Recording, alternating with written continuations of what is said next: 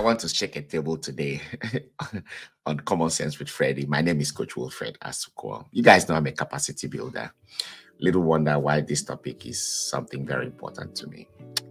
Why I support the ban of TikTok in America. Welcome to another table shaking with Coach Wilfred Asuquo. How are you guys doing today?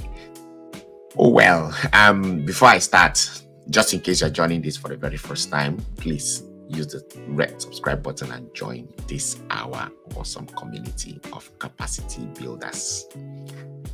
As the founder of a virtual coaching platform, Zid Worldwide, I coach, I train, and I mentor. And I also train several IT certifications and I coach several to transition from menial jobs to corporate six figure space. And if you are seeking for scholarship in North America into graduate school, sure, I offer that support system as well. You just have to pay for our time. Some of you, you all want everything for free. No, we don't do it for free. So I look forward to seeing you when you reach out. All right. So, guys, who owns TikTok? China. And do you guys know that the algorithm that you see over here in the US, in the UK, in Nigeria, all these other countries, they are quite different from the algorithm that are being shown in China. Now, if you want to cripple a man or you want to cripple a country, just take over their mind. Expose them to something they see continually, things that they read continually. Expose them to that. How do you think Africa was conquered or Africa is destroyed? They painted a picture of a white Jesus, makes it look good. We keep looking at it. We keep watching the videos about white Jesus. They gave you a book and they call it Bible, and you read all the miracles and make it feel good.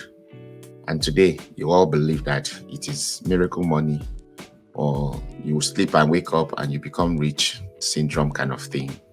That becomes the narrative. It's the same thing China they are doing.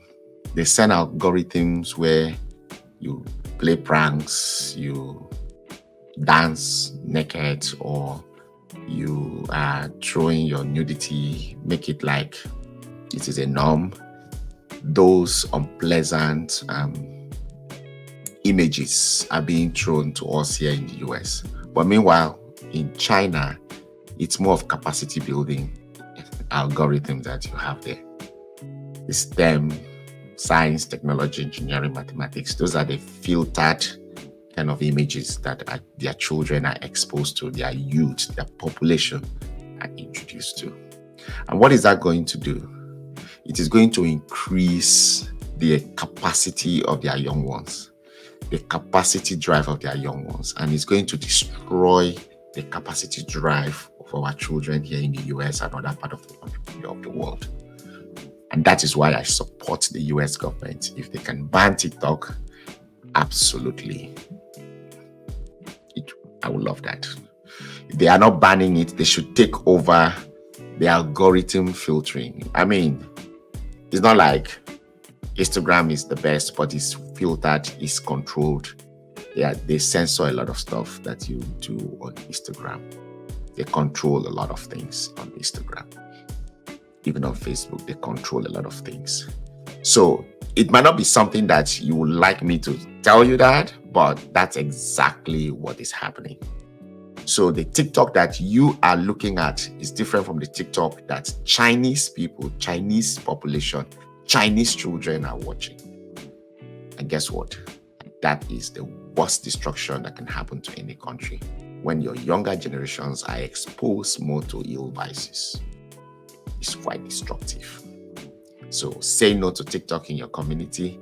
And whatever money you think they are making off it right now, I can tell you they are temporary. They are temporary. That's not capacity building. But when you have a capacity built population or economy, they are sustainable, they are long term goal. For example, I have 34 IT certifications. You guys know I have shared it before. I'm an American trained pilot. I studied applied chemistry.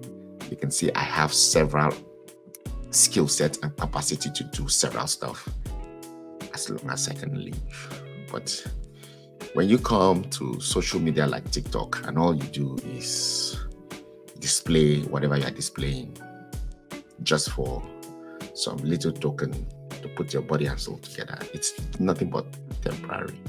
It doesn't sustain. Okay? So see you all at the top because the bottom is crowded.